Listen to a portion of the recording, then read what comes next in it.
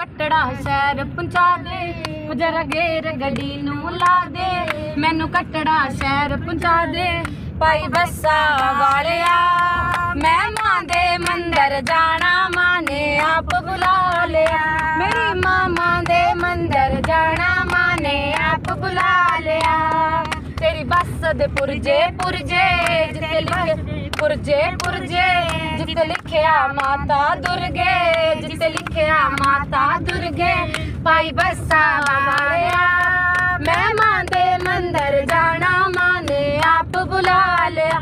ਮੇਰੀ ਮਾਮਾ ਦੇ ਮੰਦਰ ਜਾਣਾ ਮਾਂ ਨੇ ਆਪ ਬੁਲਾ ਲਿਆ।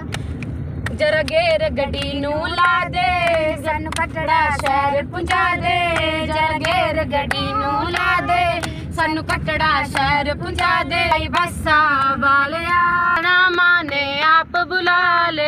ਮੇਰੀ ਮਾਂ ਬੁਲਾ ਲਿਆ। ਤੇਰੀ ਬੱਸ ਦਾ ਨੰਬਰ 52 ਜਿੱਤੇ ਲਿਖਿਆ ਮਾਤਾ ਚਮੁੰਡਾ ਤੇਰੀ ਬੱਸ ਦਾ ਨੰਬਰ 52 ਜਿੱਤੇ ਲਿਖਿਆ ਮਾਤਾ ਚਮੁੰਡਾ ਭਾਈ ਬੱਸਾ ਵਾਲਿਆ, ਮੈਂ ਮਾਂ ਦੇ ਮੰਦਰ ਜਾਣਾ, ਮਾਂ ਨੇ ਆਪ ਬੁਲਾ ਲਿਆ। ਮੇਰੀ ਮਾਂ ਦੇ ਮੰਦਰ ਜਾਣਾ, ਮਾਂ ਨੇ ਆਪ ਬੁਲਾ ਲਿਆ। ਹੋ ਜਰਾ ਗੇਰ ਗੱਡੀ ਨੂੰ ਲਾ ਦੇ ਜਰਾ ਗੇਰ ਗੱਡੀ ਨੂੰ ਜਾ ਦੇ। ਭਾਈ ਬੱਸਾ ਵਾਲਿਆ। ਮੈਂ ਮਾਂ ਦੇ ਮੰਦਰ ਜਾਣਾ ਮਾਂ ਨੇ ਆਪ ਬੁਲਾ ਲਿਆ। ਮੇਰੀ ਮਾਮਾ ਦੇ ਮੰਦਰ ਜਾਣਾ ਮਾਂ ਨੇ ਆਪ ਬੁਲਾ ਲਿਆ। ਤੇਰੀ ਬੱਸ ਤੇ ਲੱਗਿਆ ਤਾਲਾ ਜਿੱਥੇ ਲਿਖਿਆ ਮਾਤਾ ਜਵਾਲਾ। ਉਹ ਤੇਰੀ ਬੱਸ ਤੇ ਲੱਗਿਆ ਤਾਲਾ ਜਿੱਥੇ ਲਿਖਿਆ ਮਾਤਾ ਜਵਾਲਾ। ਭਾਈ ਬੱਸਾ ਵਾਲਿਆ।